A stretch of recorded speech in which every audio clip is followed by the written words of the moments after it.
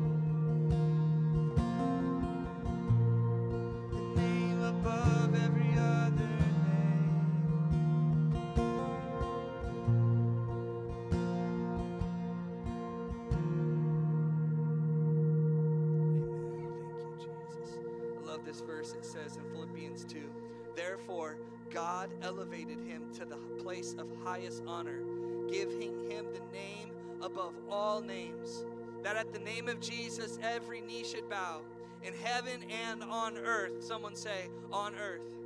And under earth, too. I love that. And every tongue declare that Jesus Christ is Lord to the glory of the God our Father. He's the name above every other name. And that's why we sing to him this morning. So that's why it's worth showing up to a building, you know, when all of culture says it's weird to do this anymore. We know we can come back to his word and see that God has given him the name above every other name. So it makes us show up on Sunday mornings and sing. And it makes us do something a little bit different than what our culture does. I just want to encourage you that, you know, whatever you think about this moment right now or whatever you're maybe you have preconceived ideas of what church is, want to encourage you and let you know that the Holy Spirit is in this place this morning because you and I are here and we're singing to his name and it is his joy to be with us this morning. Amen. Let's keep singing. Your name is a strong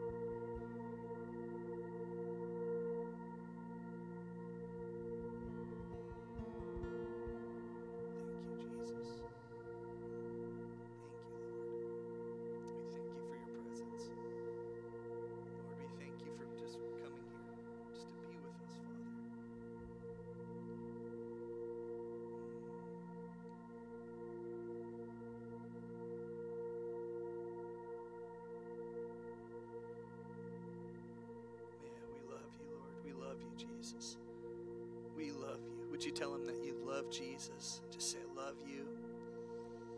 And we need your help too. Our nation and our world need your help, Lord. Yeah, our families need you, our neighborhoods needs you. Only you can do it, Lord. There's no one else. There's no better idea. There's no greater strategy than just you.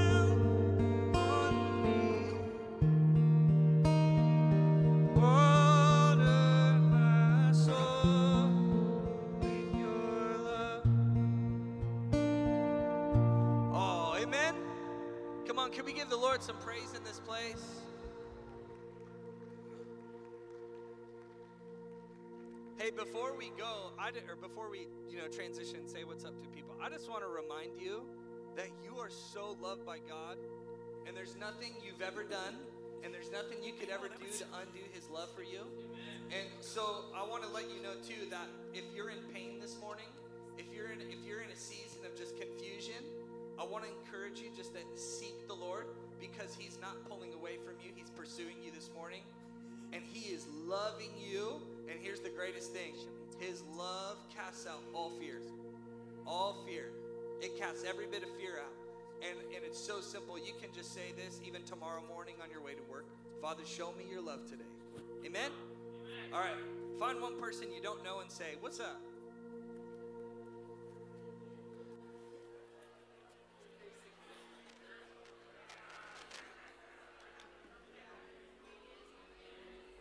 Good morning, live stream. We love you guys. We're glad that you're joining us. We're so happy to have you with us. We pray that even as we were worshiping, that you were just encouraged and you sense the presence of God in your houses, with your kids. Maybe you're watching this back.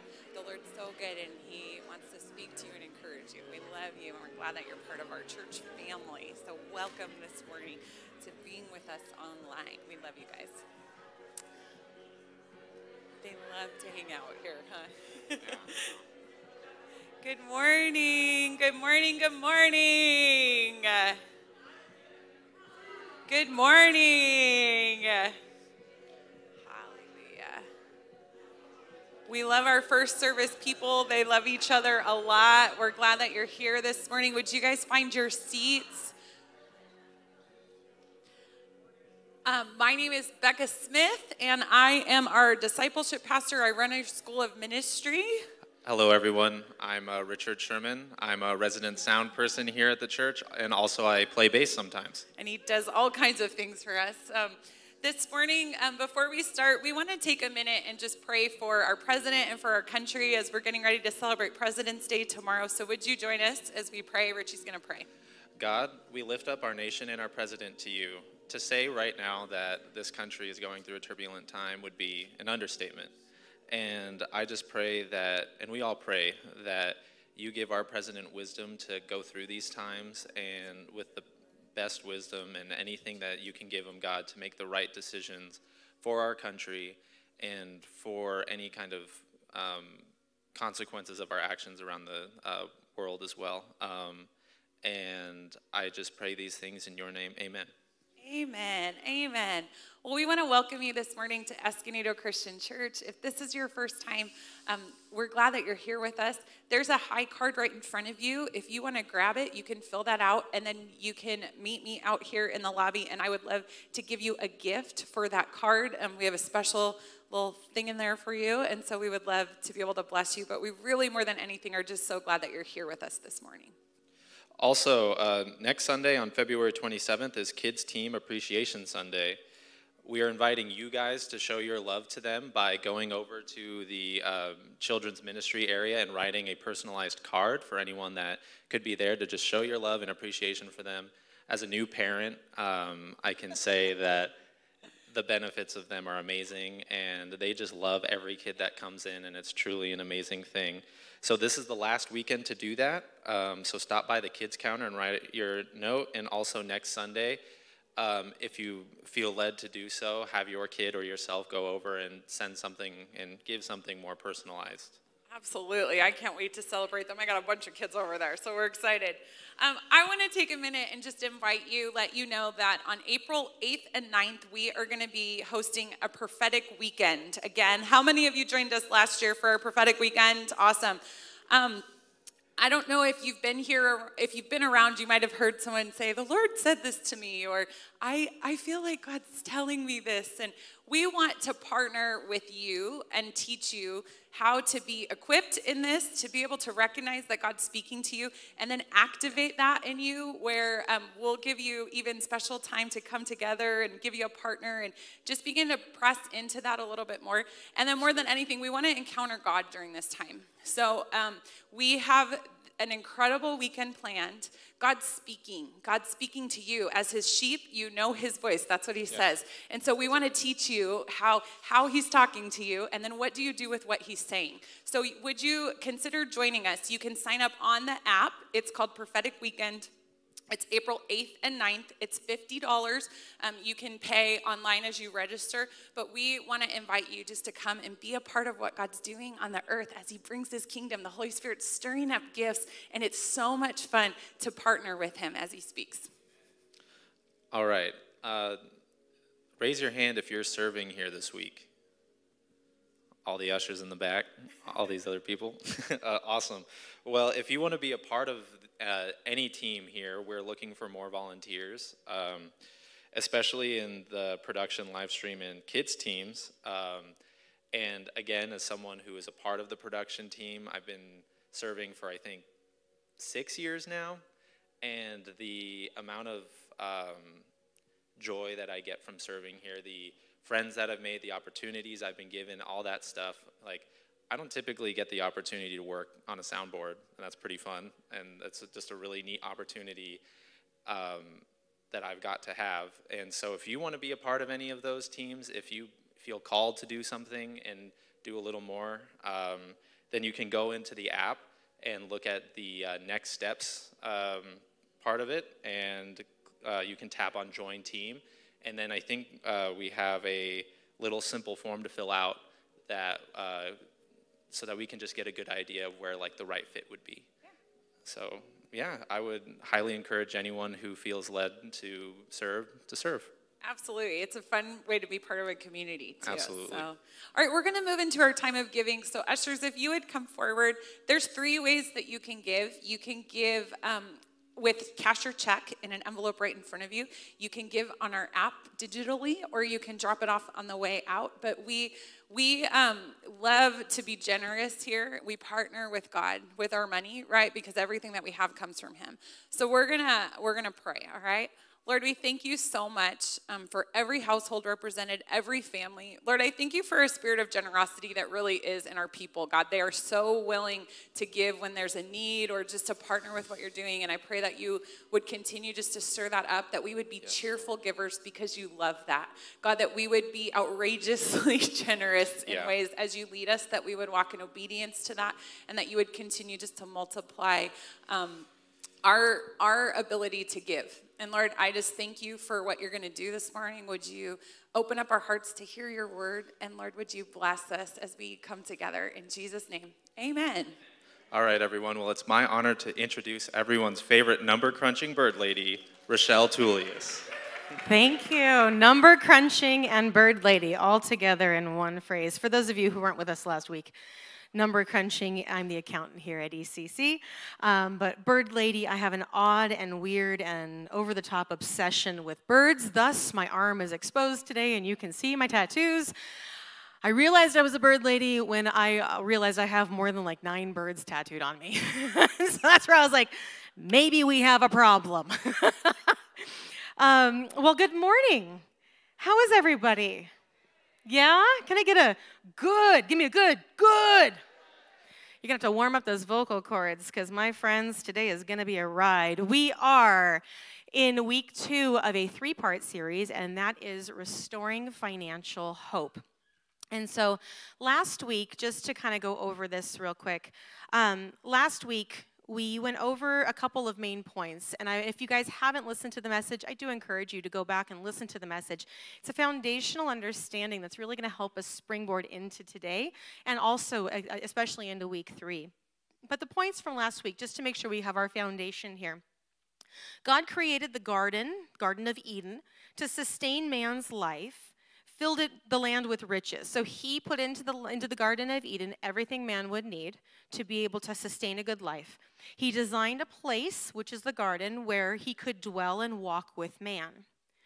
Man fell into temptation and became aware of good and evil. Man and woman were then banished from the garden to cultivate and work the ground for survival.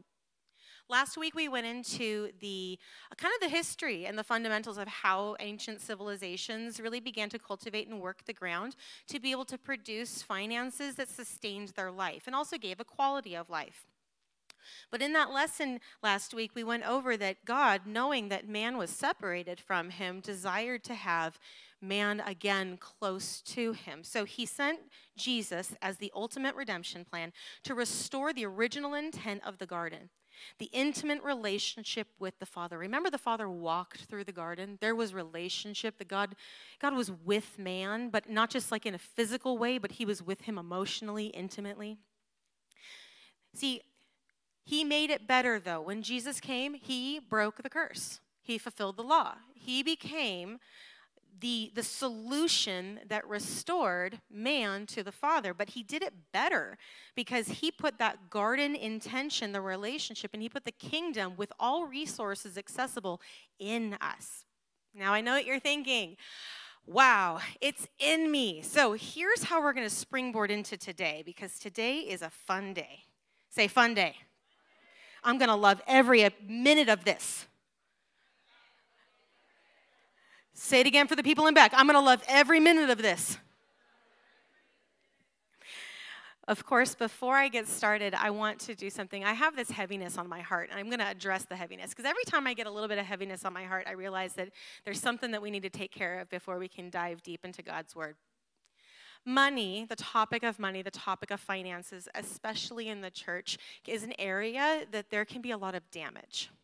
There can have been a lot of poor teaching. There can have been a lot of aggressive um, pushing upon. There could have been, there's prosperity gospel. There's all these different things that have affected the way that we view church, money, ministry, God's word. When I bring up the topic of money, I recognize that I'm in front of a whole diverse group of people who all have a different relationship with money. And I'm going to be talking about that relationship with money today.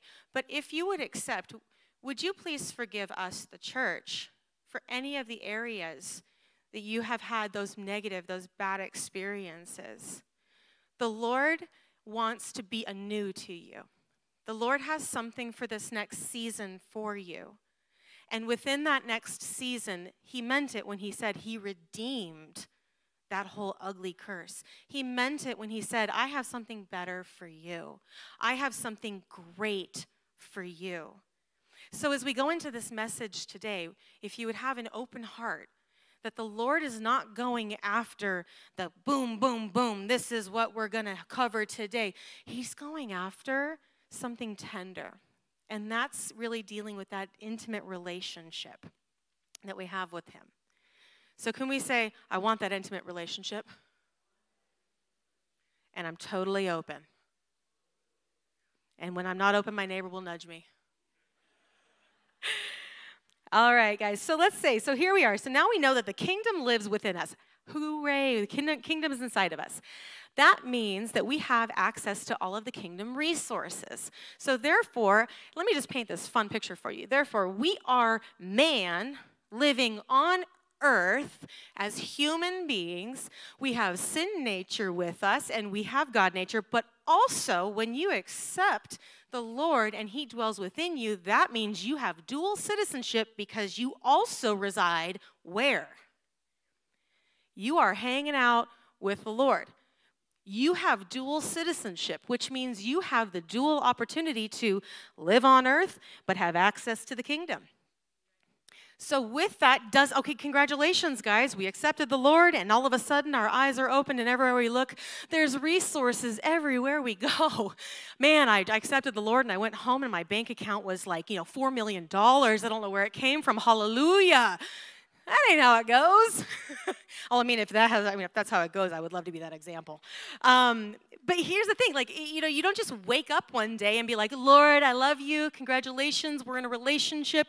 Now i get everything my heart desires. God's like let's see how that works out for you my friend.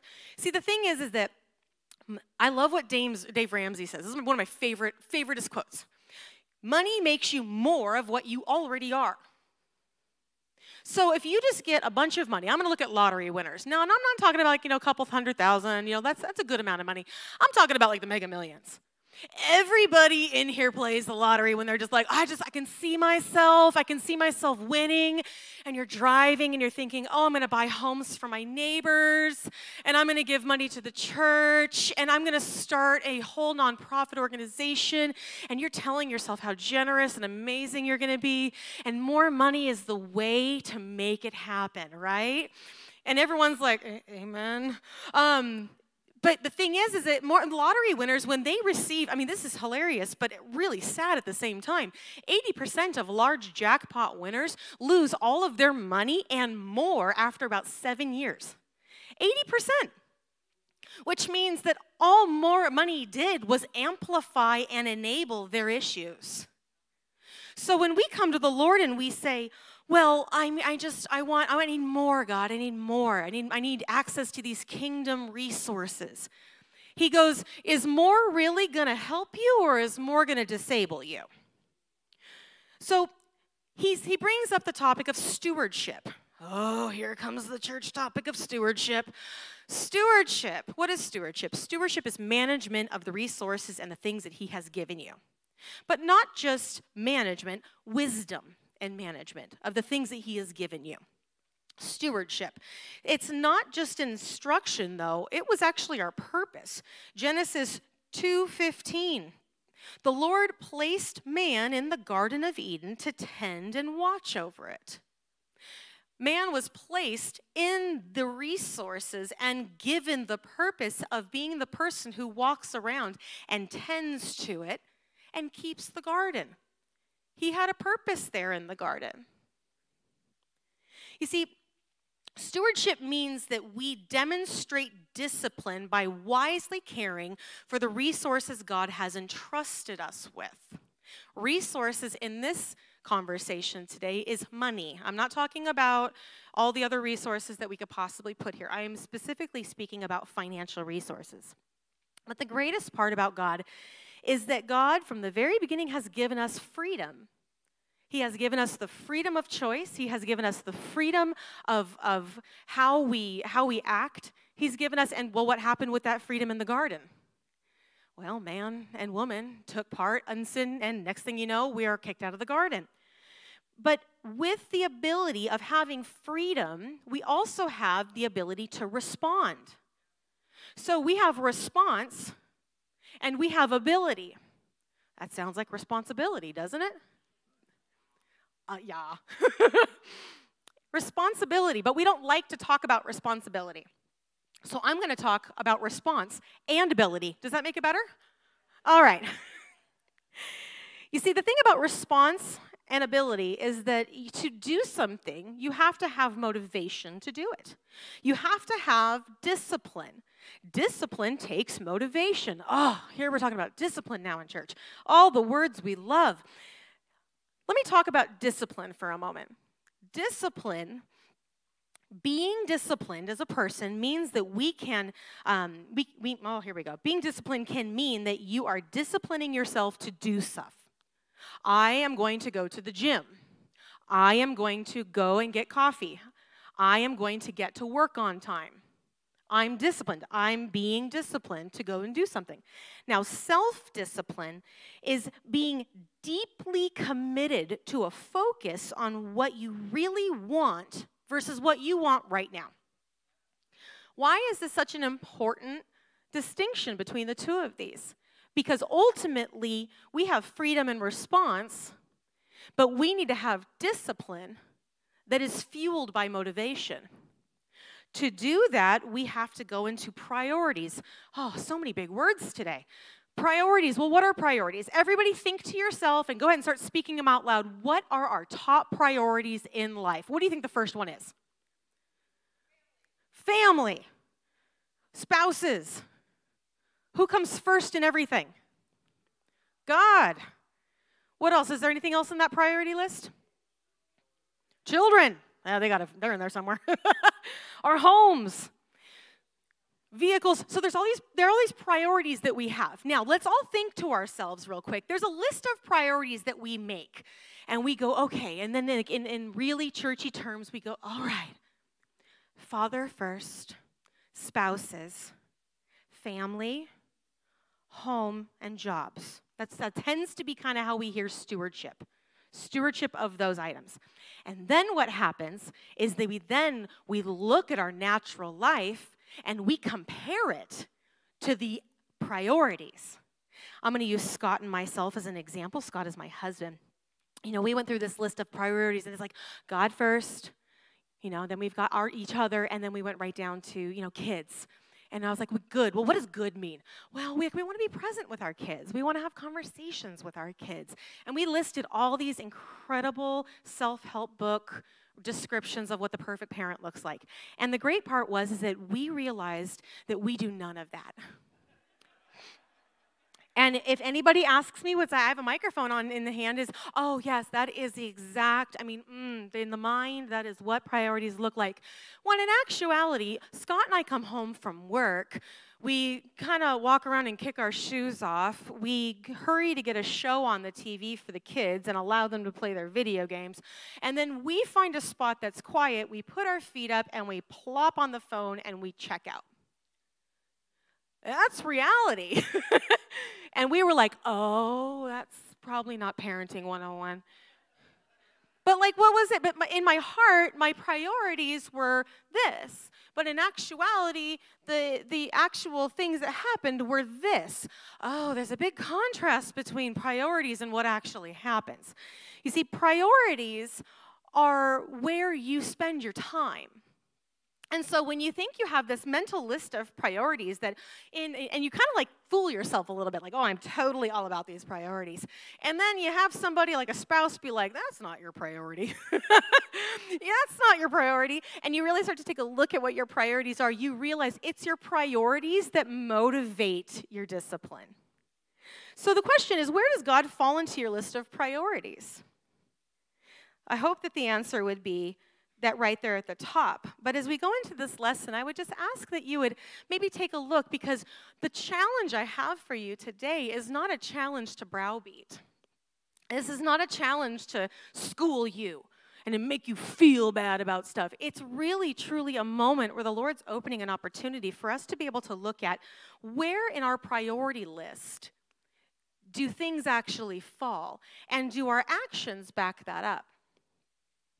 You see, your priorities are where you spend your focus, your time, and this is where you spend your financial resources. Our, our, our, topic of restoring financial hope, it starts with the recognition that the Father wants intimacy with us, that resources come from Him. We went over that in the garden, that God created riches. God called them good. God created everything we need to sustain our life. And He just wants that relationship with us. But now we're like, God, that's amazing in Bible terms, but now here's this crazy reality. We live on earth, And I live a priority based life with practical bills, with practical finances, and I've got all these practical things, but then I'm also in heaven here with my, my heavenly resources. So, how in the world do I manage the two of these things? How do I manage practical living with heavenly resources? Because I prayed and it didn't show up. Okay. I tried the tithe thing out and I just, I just, I don't know. I don't quite have buy-in quite yet. You see, it all starts with the heart. All of this starts with the heart. The heart can feel a lot of things. The heart can feel hurt. The, the heart can feel happy. The heart can feel like it's had tough times. The heart can, the heart is really what pushes the motivation. To have financial hope, we have to go to the root, the, the, the real root behind the finance part. So, to get there, I get to walk through the topic of the tithe. Everyone, take a deep breath. Half the room is so excited that I just said the word tithe. Half the room would stand up and be like, This is a discipline I learned and then there's others that are like, this is a discipline I've heard. And then there's others that are like, this is a discipline I'm not quite believe. And then there's people who are just like, why is she talking about that word again? For those of you who don't know what the tithe is, the tithe means a tenth. And it means a tenth of the first fruits. The most used scripture to describe the tithe is Malachi 3:10. Bring all the tithes, a tenth of your first fruits. Your first fruits mean your increase. Increase means resources, resources mean finance. Bring all the tithes into the storehouse, the church that you call home, your city church, the church that you are a part of. That there may be food in my house, my capitalized God's house. And try me in this now, the one time that God says, Test me in this, my friends, says the Lord of hosts. If I will not open for you the windows of heaven and pour out for you such a blessing that there will not be enough room to receive it. Now, how many of you guys have done that and have been like, I really don't think I see the not enough room to receive it part? So then there's a battle between whether or not the tithe was something that was part of the old the old law. Jesus came back and he fulfilled the law. So there's a, there's a whole line of thinking that the tithe is something that's Old Testament versus New Testament. In layman's terms, it's the Old Covenant, the law, the covenant, versus Jesus coming to fulfill the law and creates a new covenant where we are accepted in, give it up for the Gentiles. Ooh, ooh, that's us. And that we get to take part in the blessings of Abraham, Isaac, and Jacob. That everything that you see, God's word doesn't just fall flat it keeps going. So if we got blessings back with Abraham and he gets as, as many descendants of a star, guess what, guys? You guys are a star. And every promise, especially the Deuteronomy 28 promise, that's yours. But here we go. So now we've got Old Testament versus New Testament. One of my favorite references that Jesus makes in his teachings. Now, mind you, Jesus does a lot of teachings about money, but he does it from an increase parable way. He does it with um, the talking a lot about, um, for instance, um, generosity, cheerful giver. You guys, we're not quite yet to cheerful giver. Come back for week three and we'll talk about cheerful giver. But right now, a cheerful giver needs a thankful heart, and that's what we're going after today in Matthew 22, 15 through 20, I'm sorry, 22, 15 through 22, that threw me off. He was, uh, Jesus was approached about the whole tax to Caesar. And here's the one reference that Jesus says in regards to the payment. And he, Jesus, said to them, Render therefore to Caesar all the things that are Caesar's taxes. Dun, dun, dun. Taxes are due, guys, by the way. Mental note. And to God the things that are God's. When they heard these words, they marveled and they left him and they were on their way. So Jesus basically is just saying, pay to, pay to the taxes what you need to pay to the taxes, pay to God what you're going to pay to God. That's what we got. So, it's the principle. We're talking about principles. Over time, these, these principles were put into place, and these principles created a habit, and the habit created something that we pass down from generation to generation to generation. In the church today, the tithe is not something that is regularly passed down. Unfortunately, at some point in our family histories, we stopped talking to our kids and really sowing into the principle of giving the first fruits. In fact, the tithe is a topic that we rarely, it's like it's almost less talked about than sex. It's like when you think about it, it's it, it, like financial stewardship. Like, how many of you guys were like, why did they not teach taxes in high school? How is there not a budgeting class in high school? Hello. All these things that these people need, and we're not giving them the resources they need. Well, as parents, we're passing on the honor that's needed. But is it needed? So, is the principle, is this a requirement of the old covenant? Is it a law we no longer go back to? Did Jesus fulfill this and now I get to dictate how much I give and when I feel like giving? Because I call that generosity. My dictating of what we give comes from my heart of generosity. I'm glad you asked. So, in true form to this series, let's go back to the beginning. We're going to go back to before the law even existed. Genesis 4. Adam and Eve have now been banished from the garden. They are now cultivating the land, and they are starting what we now know as civilization. They are being fruitful, they are multiplying. So when she, Eve, gave birth to Cain, she said, With the Lord's help, I have produced a man. Let's stop and think about the fact that she gave birth and she was like, What just happened? I mean, like, that's a moment where you're just like, Did you know I could do that?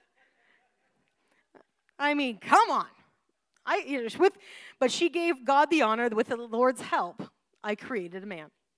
She later gave birth to a son named Abel. When they, Cain and Abel, grew up, Abel became a shepherd while Cain cultivated the ground. When it was time for the harvest, Cain presented some of his crops as a gift to God. Abel also brought a gift to God the best portions of the firstborn lambs from his flock. The Lord accepted Abel's and his gift, but he did not accept Cain and his gift. This made Cain very angry, and he looked dejected. Why are you so angry? The Lord asked Cain. Why do you look so dejected? You will be accepted if you do what is right. But if you refuse to do what is right, then watch out. Sin is crouching at the door, eager to control you, but you must subdue it and be its master. Well, one day Cain suggested to his brother, Let's you and I go out to the fields. And while they were in the field, Cain attacked his brother Abel and killed him. We look at this story, especially with the whole growing up in, um, you know, uh, children's ministries, and, and it's, we think the first sin was the fall of man fall of man. He chose to have his eyes opened. Then we go and we look at, well, the second, murder. Sin caused such jealousy and anger that it was murder. But I actually look a little bit further up in the verse. I think that there's a, a, sin that's hidden in there before the actual sin that is murder because murder was just a fruit of this that took place a little bit further, a little bit up in the, in the scripture. You see, generations pass down honor. We pass things down. So these guys are second generation kids of mom and dad who were handmade by God. They walked in the garden with God. It's such a thing that God's actually talking to him. God's not just off somewhere, like there's still relationship here. So we see ourselves looking at two kids that have grown up. These are men now. How long have they been learning to cultivate the ground? How long have they been active in the birthing seasons of their flock? Was it a tradition in their family to get together and to offer God the first? You see, sin does something over time. It comes in, and the enemy. Now, this is another thing. Let's think about the fact that you want to think that the enemy doesn't have a lot to focus on. These guys were the only two people that the enemy could practice this whole mankind thing on. They had personal attention. So it came upon the season. So, how many years was it that Cain had been kind of slowly getting like, oh, here we go. Let's get the crops. Let's go do the thing. Let's go do church. Let's go do the honor thing. You see, Cain didn't just wake up one day and go, ah, I'm just going to gather some of my crops. But the reality was is that Abel took the time and he cut the perfect fillet. I learned that from my mom. Women go after that fillet. The fillet is the most fantastic part of that steak. And the fat. Mm, back in the day, there was no butter, but there was fat.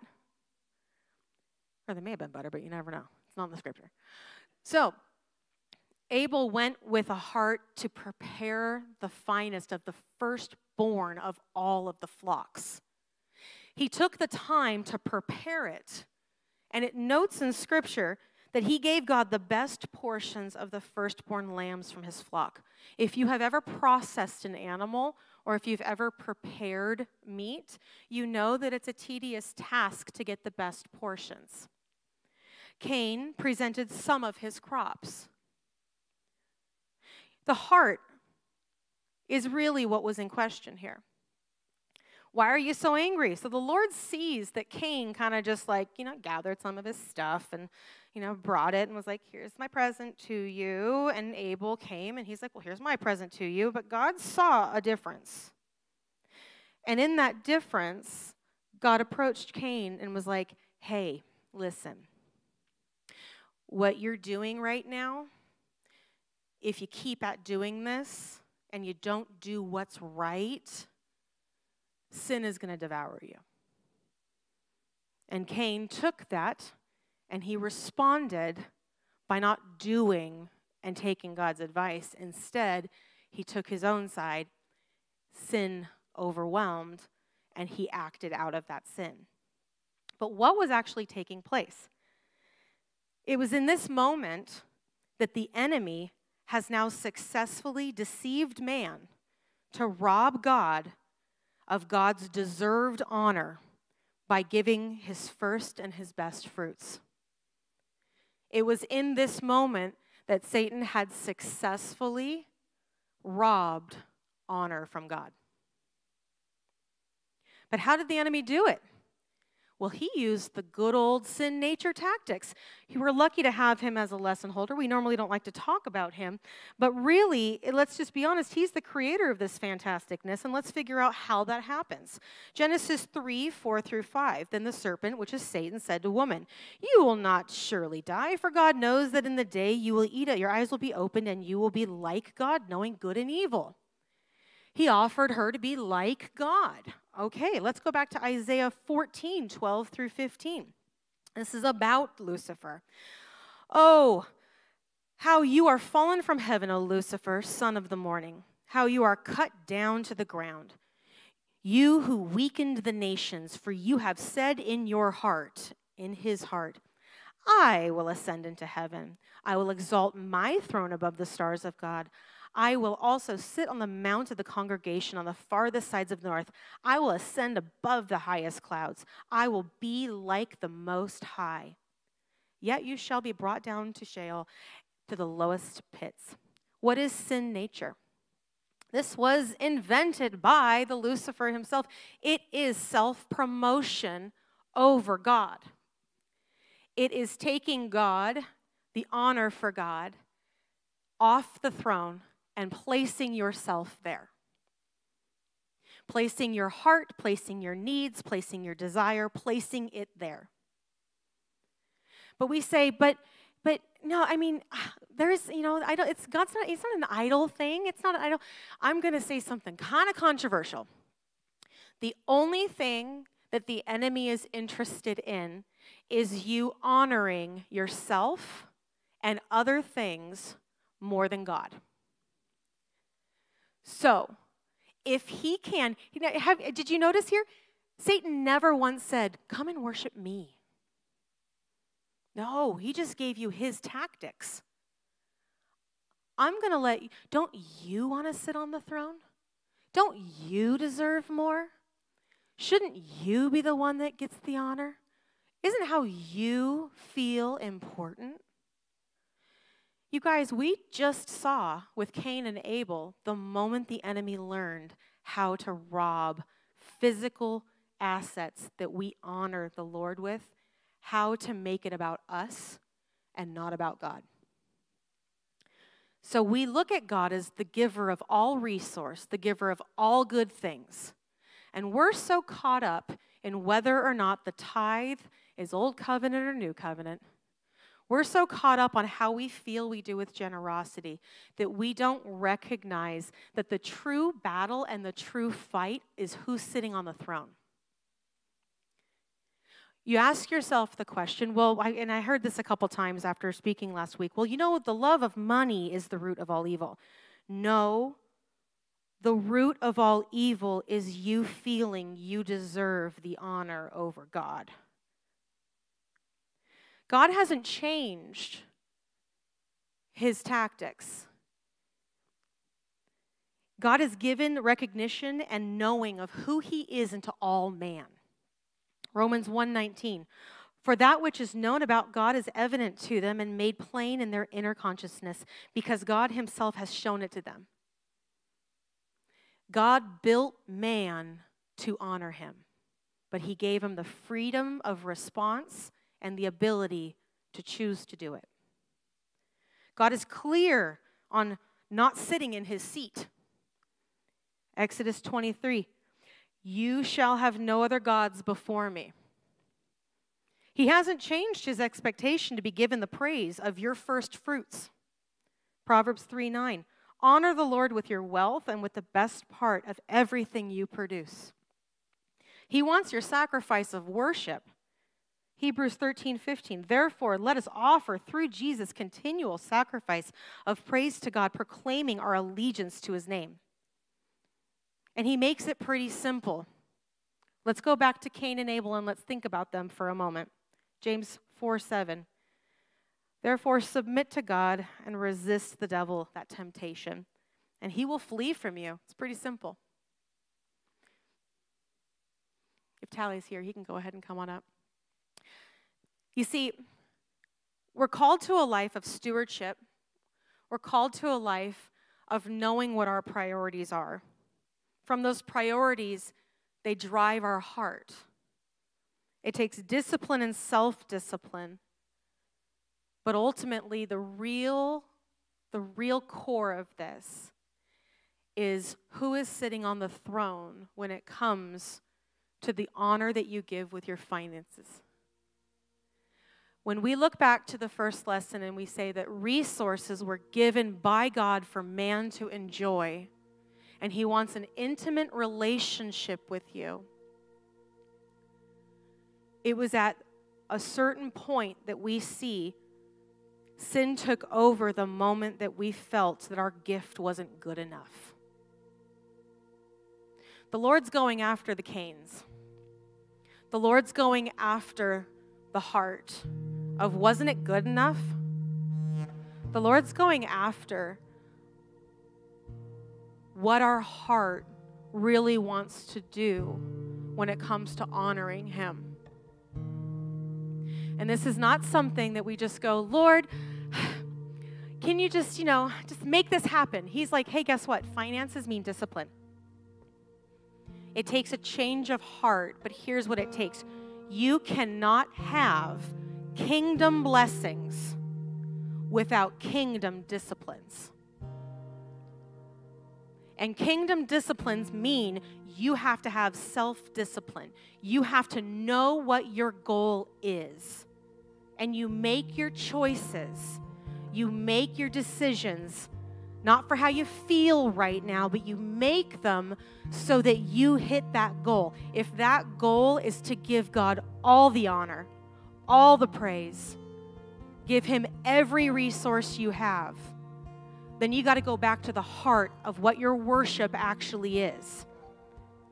When money comes up and finances come up, before you get to budgeting, before you get to stewardship, before you get to the breakdown, which, by the way, we live in a day and age where these resources are at your fingertips, and it's your lack of discipline and your lack of motivation to picking it up and following through. So, with all of that aside, and it comes back to the core issue where is God in your priorities? God's not after your pocketbook. God's not after making sure that he gets every part of, you know, well, I got to see her book down. No, God's after, do you honor me with everything recognizing that I am the giver of all your first fruits. Because when you have submission in that area, sin can't come in and control you with the jealousy, with the issues, making it about you.